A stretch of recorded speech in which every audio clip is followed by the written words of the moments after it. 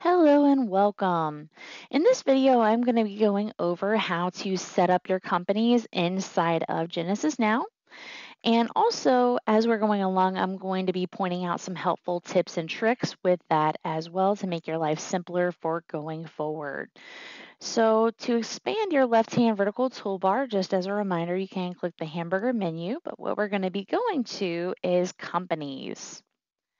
And so from companies, you'll notice that we have the capability to add in a new company, add a new lien holder, or just to see all of our companies that we have in our Jenesis Now system.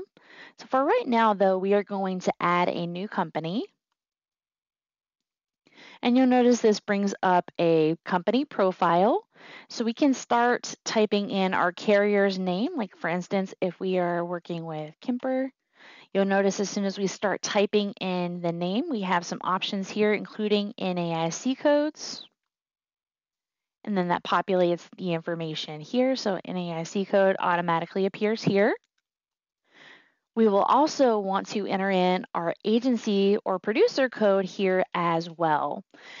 And while we're on this, guys, it's going to be very important that you are entering in the NAIC code and the agency code as soon as possible because your training team within Jenesis Now can reach out on your behalf to request downloads for you for most of your carriers. And if we can't, for whatever reason, we will let you know that as soon as possible just so there's no delay in downloads coming into your Jenesis Now system. Also, guys, for future reference, once those downloads are coming in, also important that the NAIC code and producer codes are in here correctly. That way downloads are matching up correctly with the carrier information as well. So very important on those.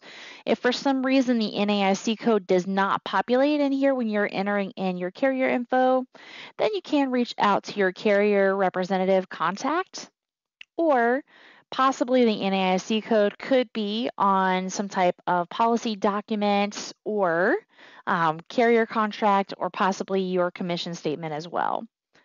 But the sooner the NAIC code and the agency producer code are in here, the better, just for the sake of requesting downloads. Also, you're going to want to make sure that if you have an FS1 code for our North Carolina agencies, you're going to want to make sure that that is in here. If there is a parent company with this carrier, sometimes we have that type of situation. You're going to want to create a profile for the parent company and a separate profile for the agency that's underneath that parent company, if that makes sense. And you'll just have parent company entered in as the parents. You'll also enter in details like phone number, fax, email, website.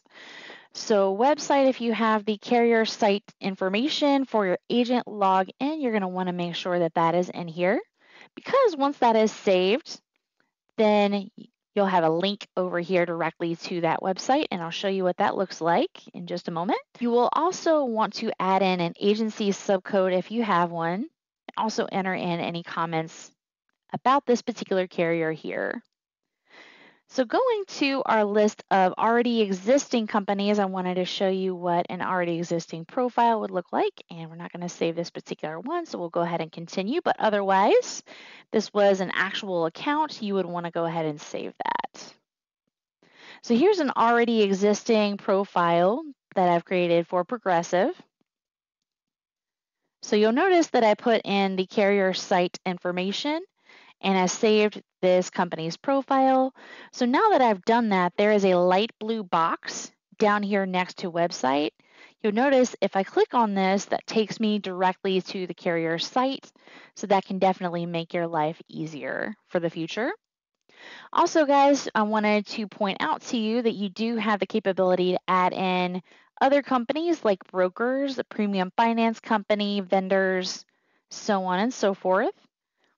And you can put website links to all of those in here as well if you would like to do that.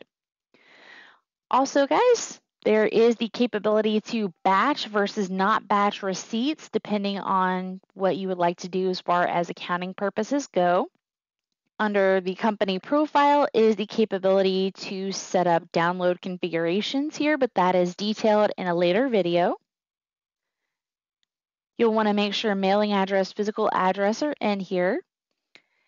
Any contacts that you have associated with this particular carrier, you'll want to make sure that those are stored under people, like your territory sales rep. So you could enter in all of this information, their title, and their contact information, any notes that you want to make for yourself about them, you could do that here as well in the comments box.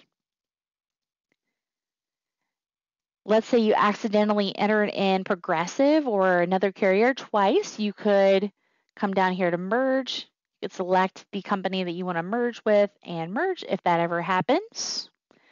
And if you should have more than one location at your agency, you can also copy all of this carrier information over to your other agency locations. You also have the capability to put in notes here, like let's say, for instance, your carrier representative visits your agency and you go over some information with them and you wanted to notate that somewhere, well, here would be a great place to be able to do that. Also, if you wanted media files saved under the carrier's profile, you could do that here as well, like for instance, the contract that you have with the carrier. Also important to note that you can keep track of your commissions with this carrier. Like let's say, for instance, you write personal auto and motorcycle with this particular carrier. You can input that here by clicking the plus sign for commissions. You can select the policy type for the business that you write. And you can put in new versus renewal business here to keep track of your commissions with this particular carrier. So guys, I hope this has been helpful. If you have any questions, by all means, please reach out.